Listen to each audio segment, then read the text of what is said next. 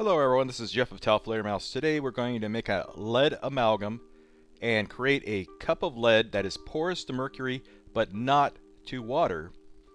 And this is based off a paper from 1952 and from my knowledge there's no photographs of this, no videos, nothing. So we're going to show you this. This will probably be the only time you'll ever see this particular experiment. I'm actually deviating from the original paper a little bit I'm heating up the lead shot first, and this lead shot probably has other metals in it like tin or antimony. And I am using the same quantities, and I'm here I'm adding 20 milliliters of mercury. Now in the original paper you were supposed to actually put the mercury in first and bring it to a boil. I really did not want to have a pot of boiling mercury, so it was important to maintain the proper temperatures, keep it low enough so I didn't reach that boiling point. After only a few minutes, it was completely melted, and at that point I turned off the heat. You can see it's starting to cool off and become kind of a thick paste, and it's essentially still a liquid at 164 degrees Fahrenheit. I then plunged in an aluminum form that I made to create that cavity. Since it didn't want to drop out of the ceramic mug, I had to break it apart to retrieve the very fragile little lead amalgam cup. Now we'll add water to it and see if it actually does hold water.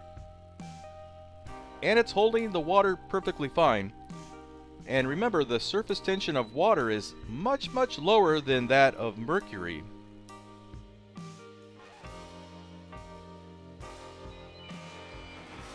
And now we'll add some mercury to the cup and see if it truly is porous to mercury but not water.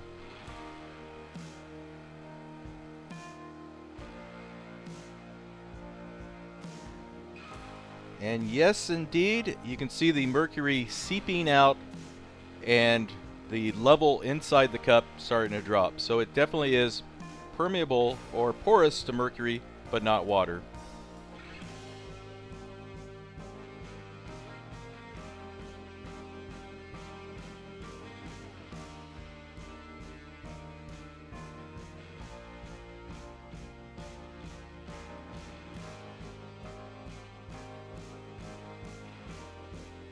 And there you have it, an experiment not seen since 1952 and kind of hidden away in scientific journals.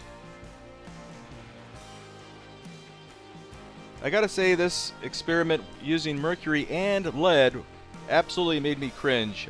I had to wear a respirator and protective clothing and stuff, but hopefully the teacher that suggested this to me is happy because it was something that a friend of his, a retired science teacher, told him about, and he always wanted to see it.